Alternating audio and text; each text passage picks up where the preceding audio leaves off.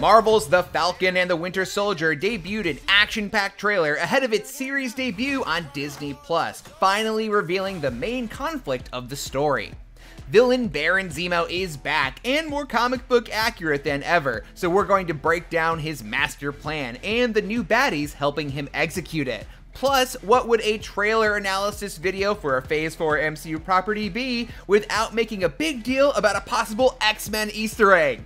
Grab that remote and get ready to scrub frame by frame. It's time for Rewind Theater.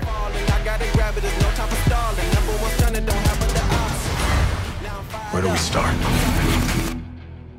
Sam and Bucky will be battling a familiar face in this new series, with Daniel Bruhl reprising his role as Helmut Zemo from Captain America Civil War. But it's been a minute since we've seen him on screen, so to recap, Zemo was the leader of a Sokovian commando squad until his country was annihilated in Avengers Age of Ultron. Zemo lost his wife and children in the disaster, sparking an intense hatred of the Avengers. To get his revenge, Zemo hatched a plan so complicated that to this day I cannot explain it, that nevertheless succeeded in fracturing the Avengers and shook the public's confidence in costumed heroes, leading to the Sokovia Accords. His plan complete, Zemo tried to end it all, but Black Panther stopped him so he could pay for his crimes. When we last saw Zemo at the end of Civil War, he was imprisoned by the UN, yet smugly pleased with his victory. Now, it seems Zemo has escaped, he took some time to knit his signature purple mask from the comics, and he's using his new lease on life to pursue an even more nefarious goal. Superheroes cannot be allowed to exist. I have no intention to leave my work unfinished. Sounds like breaking the Avengers in two wasn't enough for him. Now he wants to put an end to superheroes altogether. But to do that, what deep dark secret could he possibly unearth this time? We've got a theory. In the 2003 comic book, Truth, Red, White, and Black, the unsettling truth comes out that the US military tried to recreate the super soldier serum by testing it on a group of African American soldiers. A casting rumor has been going around that Supergirl actor Carl Lumbly will be playing Isaiah Bradley, one of the only survivors of the top secret program exposing that horrid secret and hoping it will cause our heroes to lose faith in the mantle of Captain America is totally something Zemo would do. It seems Zemo won't be the only threat facing our heroic duo.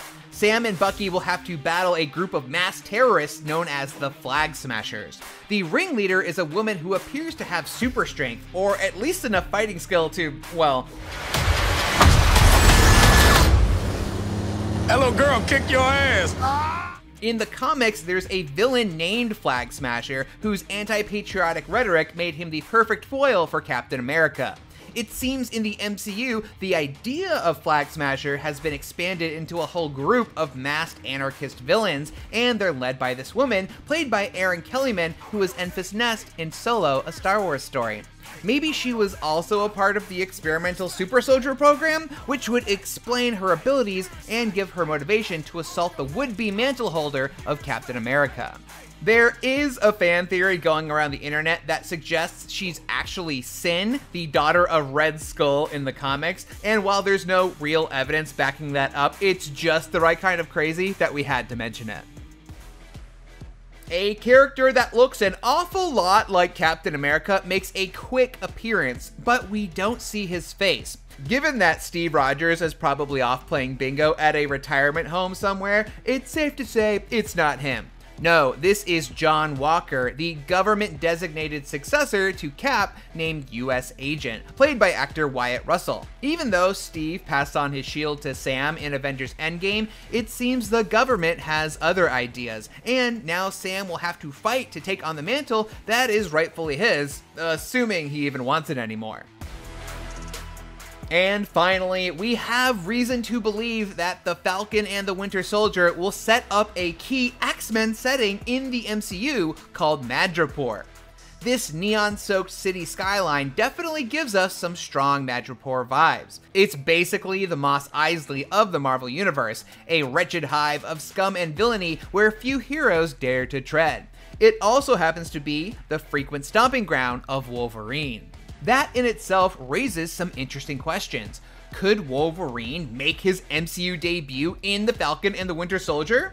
We know Marvel Studios is still years away from releasing an X Men movie, but that doesn't mean we might not see various X Men elements show up ahead of a proper film, as is common with the MCU. WandaVision. Excuse me. But what does Wolverine even have to do with the legacy of Captain America that this show is exploring? Quite a bit, actually.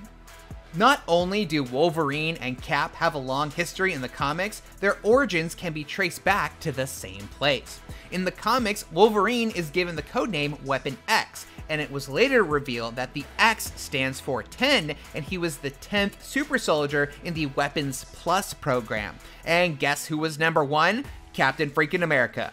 Who knows if that'll come into play or not, but at the very least, Sam and Bucky could bump into Logan at a bar, although we all know how that would turn out.